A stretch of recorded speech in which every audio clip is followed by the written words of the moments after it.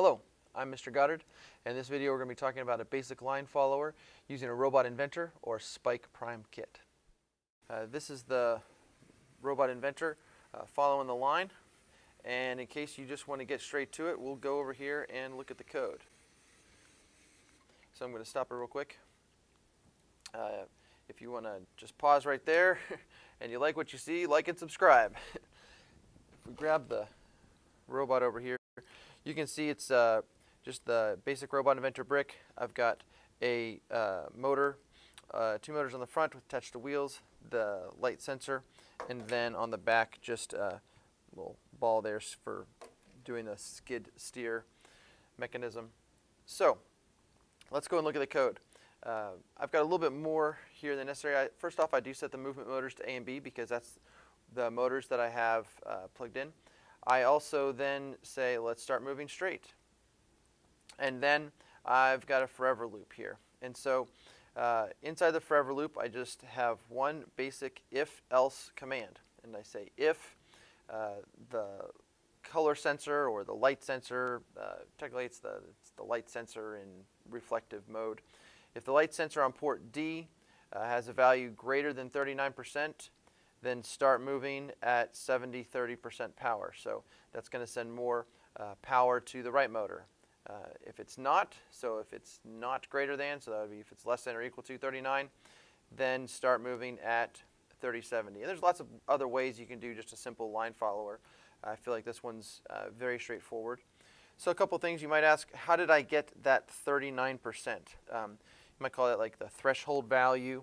So what I did is I put the uh, light sensor there uh, right in the middle, right on the edge, uh, half on, half off. And then I uh, went over here with it synced up uh, right now via Bluetooth, and I looked to see what is the percent. Now, if I look over here at that number, right now it's just showing the color. So if I click on the, uh, the brick and go down to that color sensor and click on reflect, then I'm uh, actually getting a number 43%.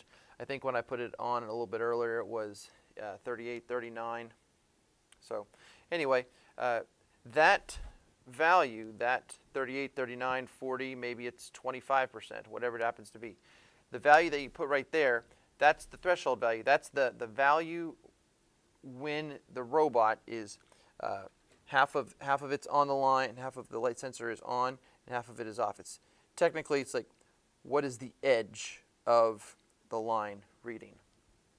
And then uh, these numbers here, I just chose you know one number which was significantly larger than the other, uh, 70-30 in this case. Uh, you could you can change those, and I encourage you to do so uh, to try to get some different performance uh, for your robot. Uh, for instance, if I were to make these a little bit closer, maybe 60 and 50 and then again a 50 and a 60 and then run the program. Uh, robot doesn't turn enough. So we might have to change those values. Uh, uh, maybe we can make them a little bit more extreme. So maybe 90 and a 10 10 and a 90. And then let's go ahead and see what happens there. So a little bit more extreme on the turns.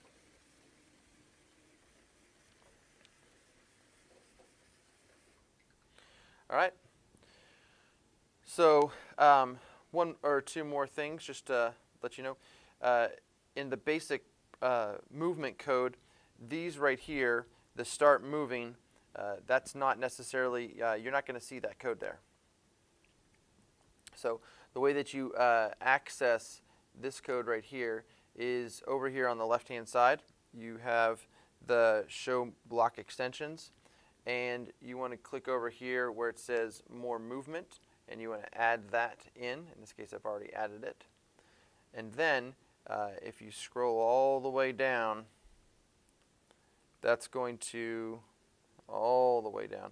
That's going to give you some more movement commands. And I, I personally really like this uh, start moving at, uh, well, it says 50-50, but whatever happens to be uh, the percentages that you choose to put in there. That's, that's, a, that's a really good code because it gives you complete control over the direction. I'm, I'm not as much a fan of this start moving because it's not as, it's not as clear uh, how much power is going to each motor, and it's hard to, to fine tune. All right, and also if we uh, switch over here to the Spike Prime uh, environment, you can see this is the exact same code, um, maybe with a slight difference where we say start moving straight, um, but fundamentally the same idea. When the program starts, uh, set your movement motors to whichever movement motors happen to be yours, and then just go ahead and start moving. And then we have a forever uh, loop, follow, and inside that forever loop we have the if and just the same same ones here. The the reflection code here checking looking at that and then um, start moving at this percent power um, if you're greater than your threshold and then otherwise if you're less than. Um, again the same uh, sort of situation is going on in order to access these uh, extra movement blocks uh, you'll have to move your mouse down here to the bottom left side and click on the more movement extension and then that will appear way way way down here along the left hand side where you've got the more movement blocks. Some great extensions there. I'd encourage you to sort of explore there if you haven't already. Anyway, so this is what the code looks like in the, in the Spike Prime environment.